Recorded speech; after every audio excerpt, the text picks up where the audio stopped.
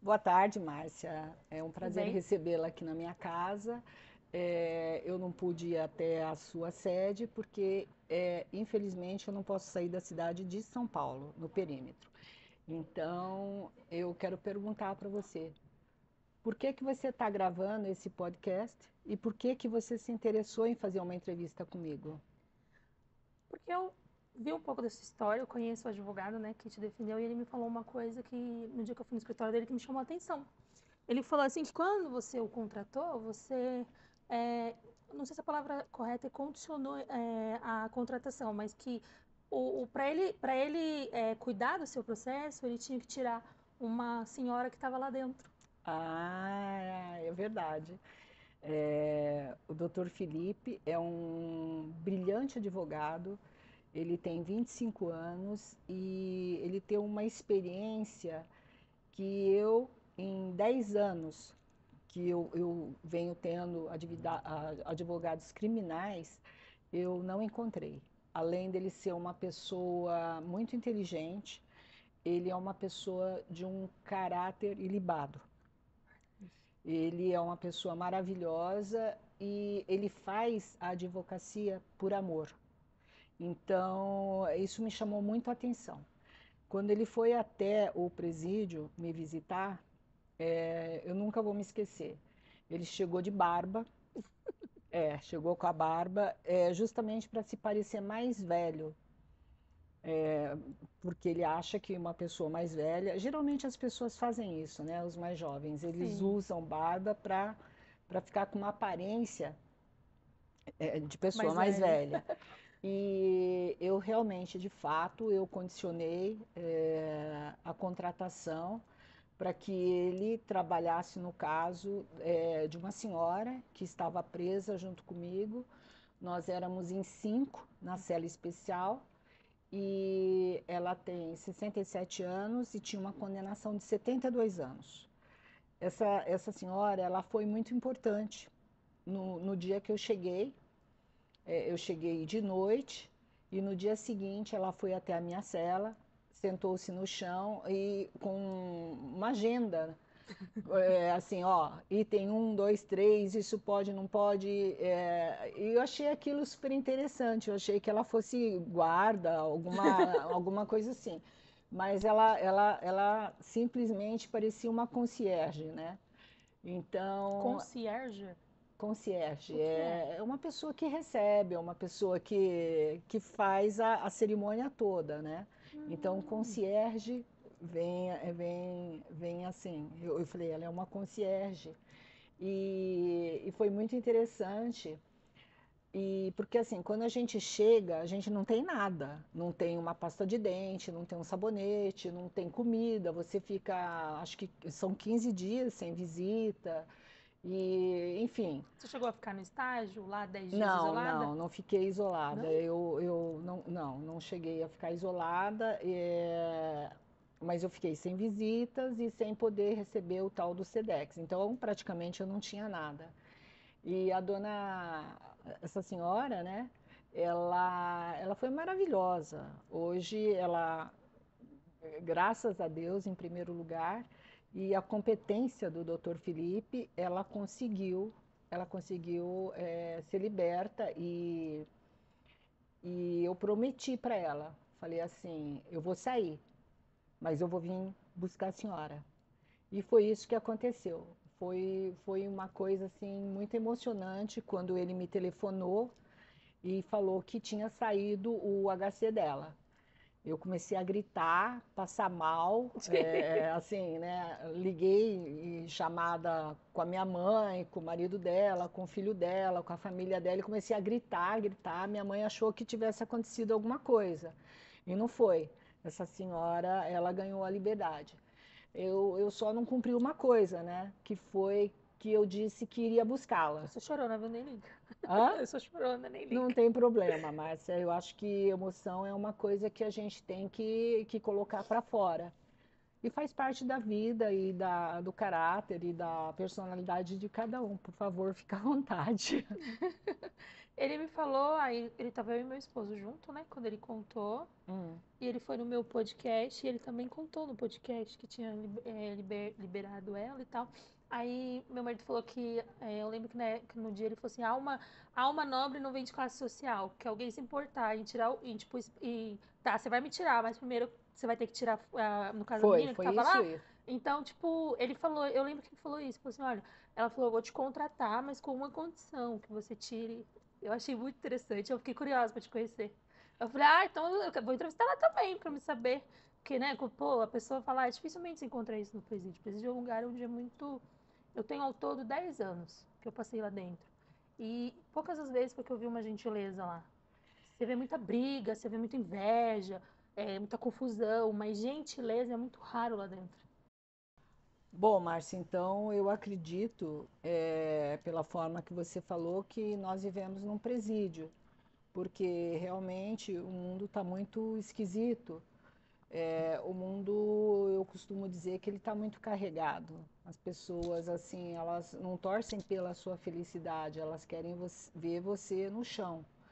E gentileza nunca é demais. Eu, graças a Deus, eu não tive problema algum pelos lugares que eu passei, porque eu acho que a gente tem que aprender na vida a entrar de cabeça erguida e sair de cabeça erguida, e sempre com gentileza.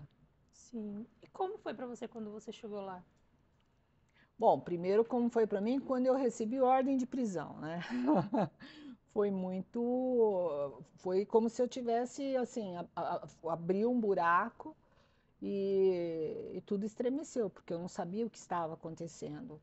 Então é uma coisa que eu não quero nem falar a respeito disso, porque diz respeito ao meu processo, está sob sigilo e eu tenho a minha defesa é, é, cuidando disso. Mas eu posso falar para você sobre é, como foi quando eu fui presa. Eu fui presa, eu fiquei seis meses em Portugal. E, Você foi presa fora do país primeiro? É, eu fui presa fora do país. Eu fiquei seis meses em Portugal.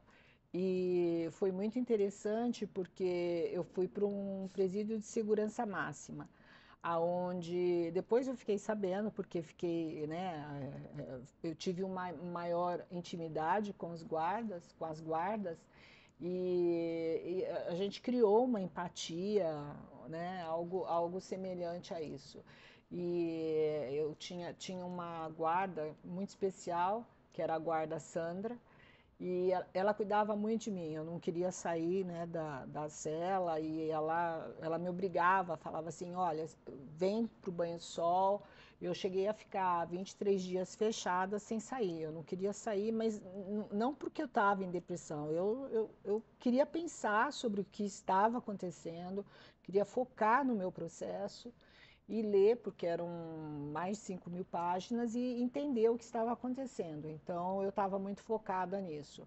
Então, ela falou para mim: Pois, quando você chegou aqui, a, a ordem da, da, da, da nossa superior a, era que ficássemos de olho em você. Que se você desse um espirro, todos nós estávamos ferrados, porque você é uma pessoa, uma celebridade internacional e, e, a gente tinha que tomar muito conta de você. Achávamos que você era a maior criminosa. É, e, e, não era nada disso, porque eu acho que as pessoas ela, elas têm uma ideia, uma, um conceito daquilo que não é. Né? Quem lê a sua história, quem pesquisa você no Google, vou te dizer eu, eu, Márcia, eu, eu não sabia muita coisa. Uhum. Sabia ali mais ou menos o que, o que o Felipe comentou, mas o Felipe é muito ético, ele não ia me dizer, não, ela fez isso, isso, isso, isso. Não, ele só falou assim, não, ela foi presa, faz parte de tal negócio, e eu peguei a defesa dela. Então, pra, pra eu, Márcia, beleza. Aí eu fui pesquisar, porque o doutor João falou pra mim, falou assim, Márcia, você sabe quem você tá indo entrevistar? Eu falei, não. Ele falou, então pesquisa.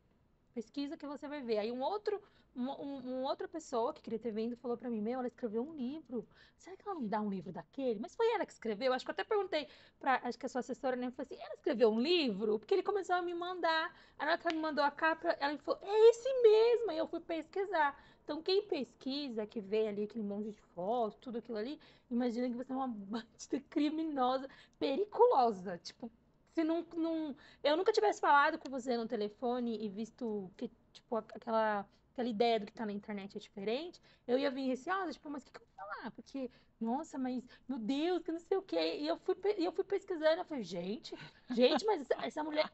Meu Deus, ela desejou até boa sorte pro, pro, pro Moura. Meu Deus! Claro que sim. Tipo, eu vi, eu fiquei, eu gente... desejo boa sorte para o senador Moro. Eu me lembro dessa entrevista que me perguntaram, é, aí eu disse que magistratura e política são duas coisas diferentes ele podia ser um bom juiz, eu não sei se ele é um bom político. No entanto, ele é um ex-juiz e eu não sei se ele será um ex-político. Eu não sei, quem vai julgar isso. Ainda desejou são, boa sorte. É, boa sorte, boa sorte.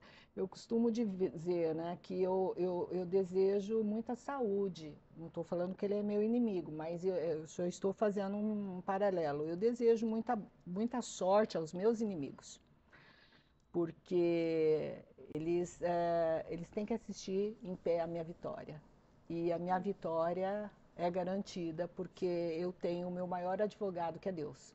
Mas é, é, é, é perder elegância é a mesma coisa que perder caráter. É, existem coisas, o, o Márcia, que é, você fala assim, nossa, mas o João é muito honesto, o João é uma pessoa leal. Gente, isso não é qualidade. Isso faz parte do ser humano. Então, caráter, elegância, postura, é, desejar bem ao próximo, isso é, faz parte do seu caráter, do seu berço. Né? Então, eu acho que, que é muito simples. É um mais um é dois, não, não pode ser três, entendeu? Três é quando você dá propina, um mais um, três é quando você propineira. Eu nunca fui propineira, né? Lá em Portugal você ficou seis meses? Fiquei seis meses, porque quando eu fui presa, é, é, é você tem uma audiência de extradição, aonde você é, escolhe se você quer ficar lá, e aí você entra num processo de extradição, uhum. ou se você aceita voltar para o seu país de origem eu quis ficar em Portugal porque eu não sabia o que estava acontecendo. Hum. Eu não sabia o, o, o, por que, que eu estava sendo presa. Eu estava sendo acusada do quê? E eu, na época, é, o, a minha ex-defesa, eles me orientaram a ficar lá pelas condições carcerárias, porque as condições carcerárias na Europa são bem diferentes né, das condições carcerárias aqui do Brasil. É, lá, por exemplo, se você é condenado a 20 anos, você passa os 20 anos, você não tem lei de um sexto. Ah, no progride de regime, não, que nem não, aqui. Não, não. Não deve ter lei de execução penal. Não, não tem. Então, é, lá, além de ser um. É, é, existe o respeito ao, ao, aos, aos presos, né, aos condenados, whatever. É, porque assim, uma coisa é você estar presa por um crime que você com, cometeu, mas você não deixa de ser um ser humano. Então, você é um ser humano que você merece ser tratado como ser humano. Ah, mas o fulano matou, roubou, estuprou. Mas espera aí. Isso é uma coisa, a outra coisa é outra coisa. É por isso, então, que ele está preso para tentar o quê? A, a reabilitação. Sim. Então, com esse sistema carcerário que nós temos no Brasil, não tem como você ser reabilitado, porque não existe um tratamento é, diferenciado. Então, a pessoa que está presa porque é um usuário de crack, que rouba por crack, por isso e aquilo, ele sai, ele vai voltar para a Cracolândia, ele vai roubar e ele vai voltar a ser preso. Entendeu? É, puxa vida, mas como é que faz isso? Como é que faz para consertar isso? Eu acho que isso é uma pergunta aí para os políticos, como é que faz para consertar? É por isso que você vota e você escolhe o seu, o seu político que vai representar você. Você está escolhendo é, uma pessoa que vai governar. uma pessoa que vai é, fazer por você, pelos seus filhos. Então, é, eu acho que isso aí deve ser revisto também. Faz sentido. De Portugal, você, é, aí você pediu depois para sair de lá? É, quando eu estava ciente de todo o processo, então eu pedi para minha advogada para que ela é, abrisse mão do processo aonde eu não queria ser extraditada, para que eu voltasse para o Brasil, para que eu me defendesse. Então, é, ela, ela abriu mão do processo de extradição e logo em seguida saiu, é, saiu minha extradição. É, foram duas delegadas da Polícia Federal me, me, buscar, junto com a Interpol. Foi uma operação de, de guerra, digna de filme. Mas assim, o pessoal foi muito bacana, muito educado. Não, não, de forma alguma. Muito, muito, sem algema, sem nada, muito tranquilo. Eu cheguei, para minha surpresa, eu fui para Salvador, porque a, o processo é de Salvador, e eu estranhei, porque eu sou de São Paulo, mas eu acabei ficando três meses em Salvador no, não, no presídio de Salvador, no presídio da Mata Escura, aonde foi uma experiência muito, como diz, muito bruta para mim, mas que me ensinou muito. Porque eu acho que toda experiência que você vive, Márcia, seja ela boa, ruim, maravilhosa, tudo serve experiência para você. E ali realmente foi uma experiência muito profunda aonde Salvador é, era um complexo penitenciário pequeno, onde tinha 100, 100 internas. Calor. Um calor, mosquito, pernilongo e assim, as condições péssimas. Eu fiquei com de 13 a 14 internas, porque eu fiquei no seguro, por conta de ser uma, uma pessoa assim midiática, né? Eles colocaram no seguro. É, junto com essas 13, 14, 15 mulheres, né? Que eram assim crimes super graves, é, é hediondo, é bem hediondo, mas assim é, sempre o tratamento com elas foram muito, muito, muito bom, muito bom porque é aquilo que eu falo para você, é, você tem que entrar com a sua cabeça erguida, é, manter sua dignidade e gentileza, respeito e, e, e eu acho que eu, eu, eu, eu, eu consigo me encaixar em todas as situações, é, porque eu acho que é, é como se fosse assim um camaleão ou, ou você, sei lá, eu, eu me adapto, eu me adapto. Eu uso muito essa frase. É, eu acho que a gente tem que se adaptar. Eu imagino, fiquei presa em um cubículo e de repente, assim, é, o, o, cubículo que eu fiquei presa é. Meu lavabo é maior que, que aquilo, mas. E que lavava, hein? e assim, eu não, eu não, sinceramente, eu, eu, eu me considero uma pessoa simples. Não, eu, eu sento com você, se tiver arroz para comer, eu vou comer. Se tiver um, escargot, que eu adoro, eu vou comer, entende? Mas é, para mim não tem problema. É lógico que a gente emagrece com aquela comida horrorosa, e essa é uma das coisas que eu acho que deveria melhorar, porque o, o governo ele paga por isso, né? Então, e a então gente quando sai, quando a sentença sai, a gente sai, a gente também paga por isso. A gente paga, a gente paga a multa. Pe... Exatamente. Né? Então absurdo. eu acho que, poxa vida, não custa nada, né? E eu me lembro que eu fui falar com um defensor público em Salvador, eu falei, mas nossa, por que, que aqui é uma coisa tão pesada, tão. Ah, porque penitenciária já vem penitência. Penitência do quê? Tá, vamos lá, vamos pagar pelos crimes, a gente está aí, é, é, é nós não temos a nossa liberdade, que é coisa pior. Não, não existe nada pior do que você não ter a sua liberdade. Você ficar presa em, em um, um, cubículo, então isso aí já, já é uma penitência. Agora, fazer pior que isso, eu acho que, sabe, é você morrer mais rápido. A todo dia. Sabe? É você descer no inferno. Então, como é que você vai reabilitar? Você não vai. Você vai querer, se você mata, você vai querer matar. Se você rouba, você vai querer continuar roubando. Porque você não vai ter um emprego, você não vai ter uma vida digna. Sabe?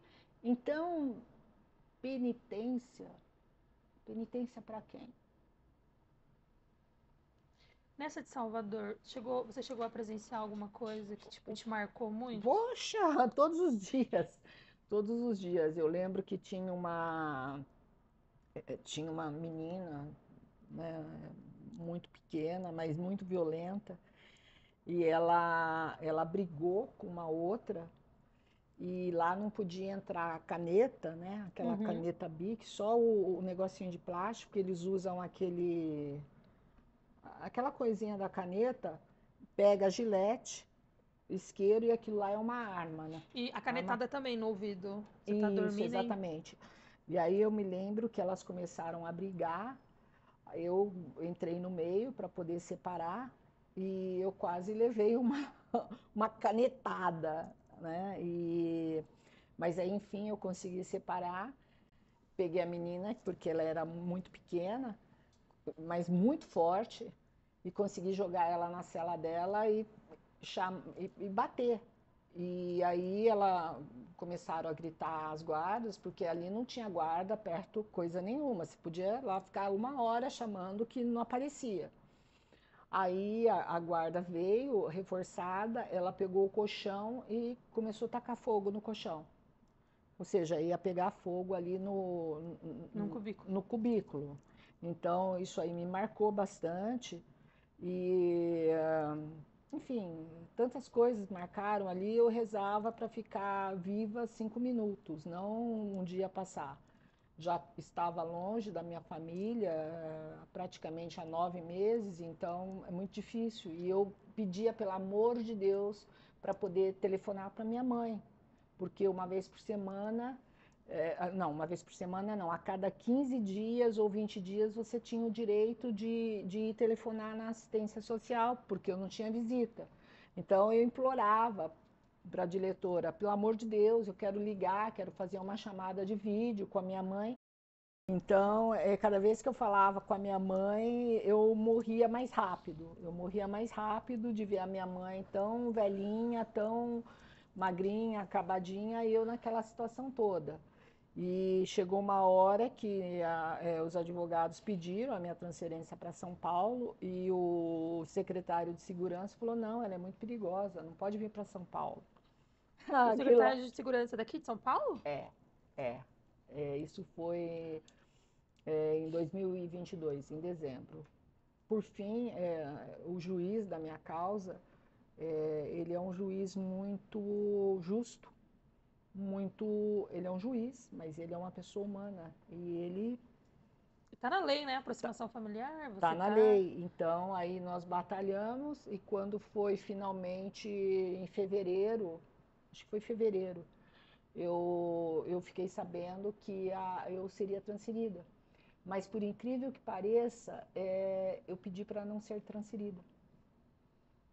Então, quando eu recebi a notícia de que eu viria para São Paulo, eu corri para a diretora e falei: eu não quero, porque eu tenho um trabalho aqui para fazer.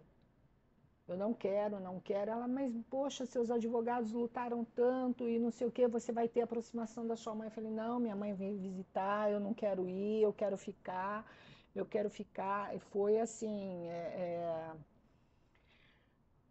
Bom, foi complicado é, a minha Mas o seu interesse de ficar lá era por quê? Ai, porque eu me adaptei. Você se adaptou? Eu me adaptei. Aí não queria mudar. E assim, eu, eu, eu me sentia muito penalizada com as pessoas e é que eu, achei, eu... eu achei que eu poderia fazer a diferença, eu não sei. Então eu, eu senti muito. Sabe? Eu senti muito de ter sido transferida. Nesse tempo que você ficou lá, entre Portugal e Bahia, você recebeu visita ou ninguém foi lá te ver? Não, só a visita da minha advogada e de um advogado é, que é o Dr. Vitor, que ele é de Salvador, que é um querido, que ele tornou-se um grande amigo da família também. Ah, é? Aí, e depois você veio para cá, que foi a, a passagem que você fala da, da Isso, inter... aí eu vim para São Paulo, aguardei os 15, 20 dias é, que a família poderia viajar, é, visitar, e foi quando eu recebi a visita da minha mãe. Foi muito emocionante. É, eu ia chegar nessa parte agora. Aqui em São Paulo, você conseguiu ver seus filhos, sua mãe ou foi Não, eu não mãe? tenho filho, só ah, minha mãe e meu irmão. Aquele dia que eu tava falando você, eu entendi você dizer pra mim que estava com seu filho. Não, não. Eu, te, eu entendi errado. É, aí você conseguiu ver a sua mãe aqui. É isso. Como foi a sensação? Ah, indescritível, né? É, é colo de mãe, cheiro de mãe, é tudo de bom.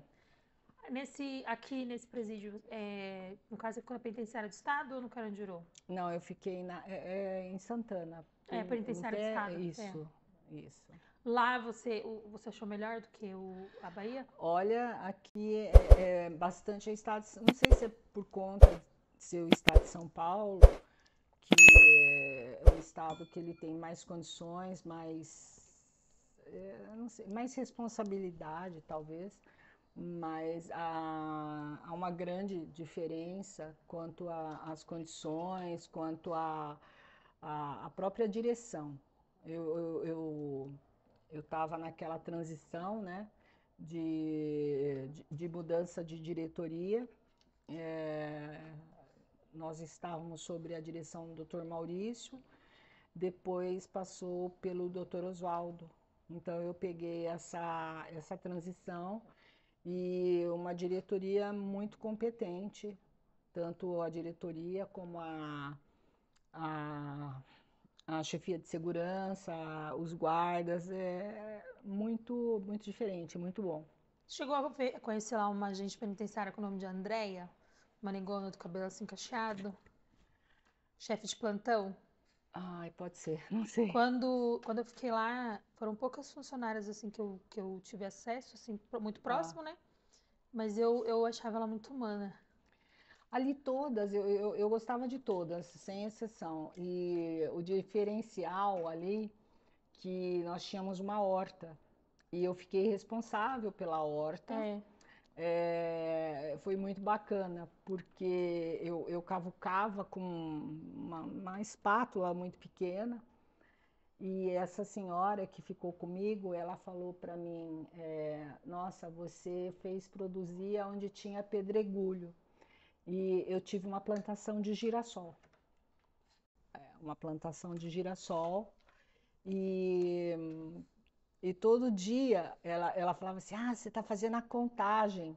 Né? Porque eu ia lá e contava. Um, dois, nós chegamos a ter mais de, acho que 50 girassol.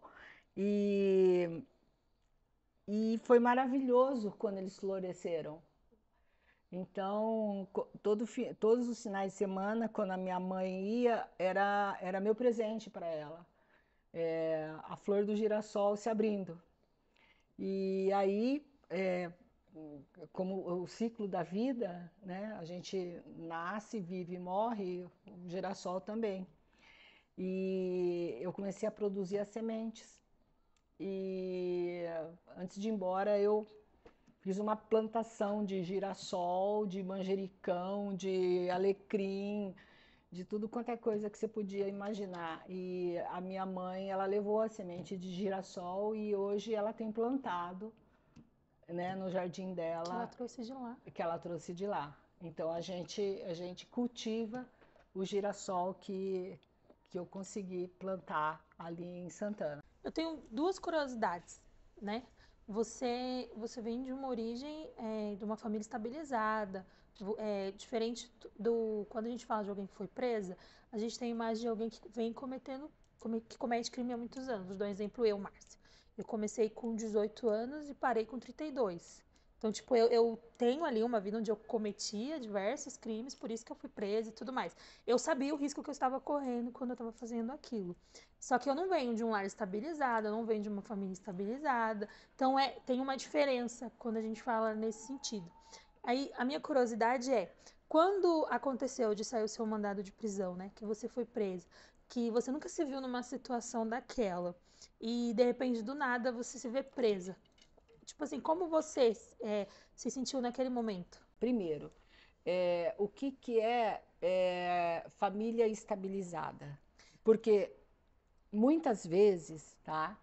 Você tem é, pai e mãe super estabilizados, assim, a pessoa, o pai é trabalhador, a mãe é tra, né, trabalha, é empresário, ou não importa a, a, posição social, mas tem um bom casamento, tem, é, tem, tem aquela união familiar, tudo, e o filho ou a filha, ela tem um desvio.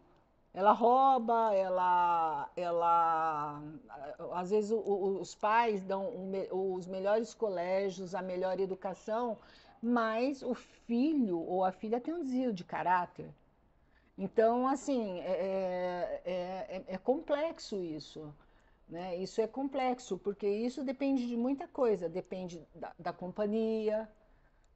Né? Às vezes, assim, o, o, o, teu filho ou a tua filha anda em má, más companhias, né? Existe aquele ditado que fala, é, diga-me... Quem tu andas, que eu direi quem tu és. Certo? E às vezes você vê um lar super desestabilizado, o pai é alcoólatra, a mãe fugiu e não sei o quê, e de repente nasceu um, um, um menino prodígio, sabe? Então isso é muito relativo. E isso é uma coisa. Eu, por exemplo, eu venho de, um, de uma família estabilizada. A estabilidade a... que eu falei foi financeira, eu só não complementei. Mas tá, é isso que eu te falei, estabilidade financeira. Por exemplo, eu tenho uma pessoa que está comigo há 30 anos. Ela criou sozinha as duas filhas. Ela acordava 4 horas da manhã e ela chegava, chega às 7 horas da manhã na minha casa. Ela nunca se atrasou. E as filhas são de uma educação primorosa. Certo? Então, existe um, um, uma, uma, diferença financeira entre ela e uma outra pessoa que, de repente, é uma empresária e tem um filho nas melhores escolas. Mas a educação que essa menina deu para as filhas é primorosa. Então, não houve o desvio. E aqui, às vezes, há um desvio porque a pessoa é milionária, porque é empresária, porque dá bons colégios, carros, viagens, e o, o filho e a filha é, têm desvio de caráter. Então, tudo é muito relativo, Márcia. Tudo é muito relativo. Eu acho que é, eu acho que por isso que eu acredito em destino, sabe? Às vezes é, é, é uma coisa que, ai, poxa, eu tenho isso, mas meu filho aquilo, ó, aquela pessoa tem isso. Então eu acho que às vezes é muito o destino ou aquilo que você qual o propósito que você veio para essa terra, né, para esse mundo, o que que você veio fazer aqui, certo? Agora a outra pergunta, como eu me senti quando eu fui presa? Olha, é, é, eu me senti presa, eu me senti é, é, tirar a minha liberdade e o que eu senti quando eu fui presa, qualquer um também se sentiria preso. Porque estar preso é não estar livre, é você estar preso. Você não pode um monte de coisas. Então, independe se você tem muito dinheiro, pouco dinheiro, ou se você não tem nada. Você está preso. Ali, quando você está preso, é... você é igual a todo mundo. Você é igual a todo mundo. Porque ali você usa o mesmo uniforme, você come a mesma comida, você acorda tal hora, você vai dormir tal hora, tua visita é aquele horário. É sim, senhor, não, senhor, mão para trás, cabeça baixa. Então é resiliência. Você ficou nas cenas especiais na frente, no convívio você não chegou a entrar? Não, não cheguei a entrar. Não cheguei a entrar. Lá no convívio era. No convívio não, desculpa, na sala especial que você ficou era. Eu fiquei mais. É, eu e mais cinco, cinco pessoas. E era essa, era, esse, era essa rotina que vocês tinham lá? Sim, abria nove horas da manhã e, e a gente. E, e, e a gente ia para dentro da cela às 5. Então, nesse horário, a gente ficava livre, onde eu fazia caminhada, cuidava da horta, fazia a limpeza ali da, da, do pavilhão, enfim, fazia tudo. Então, lá dentro do convívio, lá, por isso que eu te perguntei, é outra realidade. Você só é, você só é igual ah. na hora que você entra, pega a matrícula, veste o bege, não sei se, sua, se você chegou a pegar o uniforme bege, você já tinha mudado de cor, que é o bege que você hum. usa. Depois lá dentro, não. É completamente diferente a realidade, por isso que eu te perguntei. Quem mora no quarto andar tem uma realidade, quem mora no terceiro tem outra, quem mora no segundo tem outra, no primeiro outra e no térreo outra. Hoje o térreo foi tirado por conta do, dos ratos, da infestação de rato que tem lá dentro. Eles tiraram o térreo, porque tinha muito rato. E ficou só o primeiro, segundo, terceiro e quarto. E mesmo que você use o mesmo uniforme, é uma outra realidade. Quando eu te perguntei da, da situação financeira, quando alguém fala assim, fulano foi preso, a gente imagina, nossa, é, vamos, vamos, usar de exemplo das entrevistas que eu já fiz, de que tem, tem mais ou menos umas 100, só de meninas que passaram por isso. E quando você vai ouvir a história delas, todas são muito parecidas. É, vem de uma família desestabilizada financeiramente, psicologicamente, e elas não tinham outro caminho, se envolveram com alguém, que daí vem a parte que você fala, né, de você se envolver com, com, com uma pessoa e, e acaba ali você ter um desvio, se envolveram com alguém, tem a dependência emocional, o cara pratica crime e ela vai praticar junto. Ela vai presa, ele abandona, ela sai, tenta mudar de vida, algumas conseguem, outras não. Então todas têm essa mesma história. A sua já não se encaixa nessas histórias, pelo que eu percebo. Uma que você tem é, você tem alguma, é, se eu não me engano, você falou pra mim que você é formada, por isso que você ficou na série especial. Eu sou dentista. Você é dentista? Isso. Cara, sabe o que eu imaginei se fosse? Alguma coisa relacionada à moda. Nada mal, hein? porque quando você falou, é, eu imaginei, porque você, você olha, você, você consegue falar com propriedade, tipo assim, olha, é, melhora nisso, melhora naquilo. Então a gente pensa, eu, eu, eu particularmente pensei que se fosse relacionado a alguma coisa à moda, por isso que eu falei, depois eu perguntar pra ela, ela é formada em moda. Até porque você se veste bem, você se arruma bem. Obrigada. Também tem, tem isso. Mas, ah, então no caso você é dentista. A maioria não tem nenhum ensino médio. Então, tipo, você vê uma diferença. Ninguém nasce querendo, querendo é, cometer crime e ninguém nasce querendo ser presa. São consequências, às vezes, que acontecem ali em atitudes. Não vou nem entrar no, no, no, seu processo, porque ele não me interessa, interessa mais sua vida. Porque eu cheguei na sua casa, tô me sentindo rica. Desde a hora que eu entrei ali, do que eu vi aquele banheiro, eu falei, meu Deus, onde que eu tô? Tô, tô me achando importantíssima. É foco, Marcia. foco, Eu tô no, no, no, foco. Então, essas coisas que, que, que, como é que fala, que despertam uma, uma curiosidade, sabe? Tá, então você quer dizer que eu não sou uma pessoa comum para a realidade que eu vivi. Vai ver que isso estava no meu destino, Márcia. Quem sabe? É, você usou as palavras melhores que eu. Você é boa nas palavras. Sua oratória é boa. Ah, obrigada. É, é. Você acha que estava no, no, seu destino? Eu acredito que sim, como eu falei para você, nenhuma folha cai sem que Deus permita. Talvez eu tenha que ter te passado por isso, porque eu tinha que conhecer essa senhora que estava presa. Que estava presa lá já há oito anos. E ela ficaria mais é, 72 anos no total, né? Então, ela ficaria uns bons anos. Um, né? Então eu não sei se de repente eu, né, aconteceu tudo isso, porque de repente eu tinha que conhecê-la, de repente eu tinha que conhecer o Dr. Felipe. Hoje você está aqui por conta do Dr. Felipe.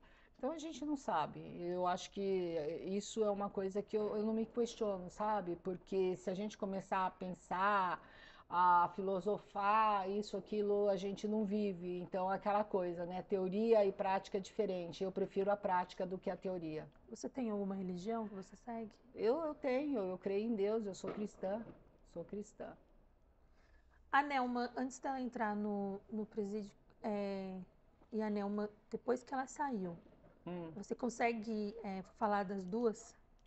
Ou você ainda não tem esse. Olha, esse eu, olhar? eu, eu eu posso dizer que sim, porque é uma questão também de maturidade. É, eu, quando fui presa a primeira vez na Operação Lava Jato, eu tinha 47 anos. Eu estava no ápice da minha carreira é, e eu ia me aposentar com 50 anos, é, dona de tudo aquilo que eu sempre almejei, que era ter a minha casa do jeito que eu queria, era terminar os 50 anos e, e, e viajar pelo mundo. Eu não, não, queria, eu não queria mais trabalhar, mas eu queria a estabilidade de ter uma casa, a minha família tá, estar com, tranquila, estabilizada. Então eu, eu creio que é, sim, claro, existe uma Nelma de antes, o Nelma de depois, não só pelo que aconteceu, mas é, é uma questão de maturidade como todos nós. Você vai falar assim, ah, eu com 18 anos, nossa, eu com, com 40 eh, anos, se eu soubesse com 20 anos, eu... Não, você não faria, porque você, com 20 anos você faz as coisas de 20 anos sabe? Com 12 anos, você faz as coisas de 12 anos. Então, é, são, é, é, é o processo da vida, é, é, é, a cadeia da vida, é a pirâmide. Quem pode responder melhor isso, né? É a pessoa que está comigo 30 anos, mas ela não quer falar, vamos respeitá-la. Mas ela pode é, falar bastante de todas as minhas fases. E ela passou fases comigo de de ela trazer a comida da casa dela para a gente comer. Porque é, quem não quebra na vida? Sim. Sabe? Então é a minha filha, minha parceira, minha amiga e minha homenagem a ela aqui nesse podcast. que emocionada. Eu choro demais. Sou demais. É. É, então, eu, eu, lembro que eu assisti um, um, uma reportagem você foi num programa de televisão e a repórter fez uma pergunta para você e, e a tipo, jornalista é a jornalista isso fez uma pergunta para você perguntou para você se você se achava acho que foi bandida ou foi criminosa a, as palavras que ela usou uhum. não lembro agora eu ia te fazer essa mesma pergunta se eu que, me acho uma criminosa? O que, é, o que você o que você achava uma vez a gente falando no telefone antes de eu vir eu falei do, do dólar, você, você não compra dólar? Eu falei, como? Então você também é criminoso, você falou pra mim. Eu falei, eu comprava mesmo, na fronteira. Trocava lá os dólares, não sei o quê. Você já está respondendo minha pergunta, Márcia, então, né? Então você não perguntou, você já se antecipou. Se eu me acho uma criminosa? Não, eu não me acho uma criminosa. Eu simplesmente, alguém compra flor e vende flor. Eu comprava dinheiro e vendia dinheiro. Você sempre foi, mexeu com câmbio, casa de câmbio? Foi, foi. Então, assim, eu não me considero, porque não me considerava, eu comprava e vendia dólar, comprava e vendia dólar, quem quiser, quem, quem queria, quem, quem, quem precisava do meu serviço. Isso é obrigação de, na época, né, Banco Central, COAF, Banco Central, COAF, é, que mais? Eu não sou COAF, não sou Banco Central. Isso não é obrigação minha, entendeu? Hum. Ah, mas você. Então tá bom. Quem é que não compra dólar? Você declara, Márcio? Ah, então você é criminosa. Nunca declarei. E Quando você, você falou isso pra mim, eu fiquei pensando você nisso. Você é criminoso? E aí, ô, amiga, você declara? Não. Então, assim, sabe? Ah, tá bom. Então, antes do seu dinheiro vir para minha conta, seu dinheiro passou pelo Banco do Brasil, pelo Banco Itaú. Então, eles, eles sim, tinham responsabilidade. Eles têm responsabilidade perante as leis é, do Banco Central, sistema financeiro, eu não. Então, maior doleiro, para mim, são os, os, grandes bancos. Então, eles são os maiores criminosos. Eu não sei quem sou eu para julgar. É, hoje, no, nos dias. Não, antes de eu fazer essa pergunta, tem uma outra. Quando você soube a sua liberdade, ela chegou sem você saber ou você já sabia que você ia sair? Olha, o... Eh, eh, quando eu estava em Santana, eh, eu contratei o Dr. Felipe no dia, eu creio que foi no início de junho do ano passado, e eu tinha certeza que eu ia sair por ele, absoluta. Desde o primeiro dia que eu olhei para ele, eu falei: esse cara aí vai, ele vai fazer a boa. E, um, eu, e aí, 20 dias depois, no TRF1, foram três votos a um, então foi concedida a prisão domiciliar com uso de tornozeleira. Eu vim para casa, foi muito emocionante. É, nós aguardamos dois dias, porque até fazer o trâmite do, do, dos papéis, tudo, então eu não fiquei ansiosa, porque é, sabe quando você, você quer vir para casa, mas tem as pessoas ali, e você quer vir, mas não quer, sabe aquela coisa louca? Enfim, aí eu vim para casa, é, no dia 22 de junho de 2023, e até 20 de fevereiro, eu creio, eu fiquei em domiciliar e hoje eu me encontro em. É, eu posso sair das seis às seis da manhã, com exceção de feriados e finais de semana. E foi muito interessante, porque o dia que, que saiu essa decisão, eu estava aqui em casa com alguns amigos e eu estava ali na cozinha, estava abrindo uma garrafa de vinho. É, eu não bebo, e eu estava abrindo essa garrafa de vinho e a gente ia comemorar alguma coisa. Não me lembro o que era, porque o susto foi tão grande. Aí o doutor Felipe ligou, gritando: saiu, saiu, saiu. E eu com a garrafa de vinho e. Nossa, foi, foi, foi muito demais. Foi muito demais. Foi. Ele vibrando foi, junto. Foi, foi assim eu tive muitas vitórias e também tive muitas derrotas na minha vida. Eu acho que a vida é composta disso. Acho não, a vida é composta de vitórias, de derrotas e recomeços. E essa foi uma das minhas grandes vitórias, né? Junto com o Dr. Felipe, é, foi foi até agora a maior vitória. a maior vitória mesmo vai ser quando, quando eu me livrar disso tudo e provar a minha inocência. Falta muito para acabar? Eu não tive nem audiência ainda. Passaram-se dois anos e eu não tive audiência. Enfim, vamos voltar ao outro foco. Não quero falar sobre o, não, o processo. Não, nem é o, o, o, processo, nem é o objetivo. Hoje, é, você pode trabalhar ou não? desde que seja das seis da manhã às seis da tarde, é, com exceção de feriados e finais de semana. E hoje, para você sobreviver, como você faz? Porque eles te tiraram tudo, mas te devolveram o quê? Só Nada, por enquanto não, mas assim, é, eu, eu tenho alguns amigos é, que ficaram comigo na Lava Jato, eles falam assim, eu falo assim, ah, eu, eu sobrevivo com a ajuda dos amigos.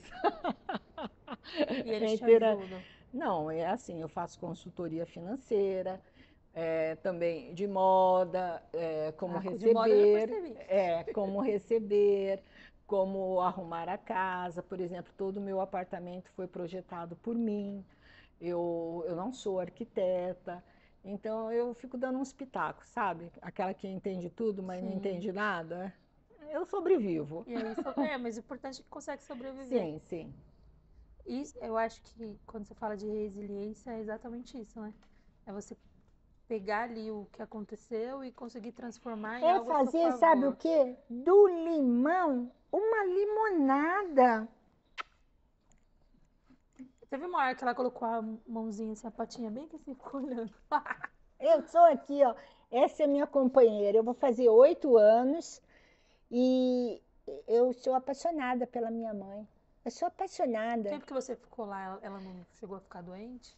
Ela, ela ficou, ela sentiu bastante, mas ela ficou com a minha mãe e ficou. Ficou com a Chica, né, meu amor?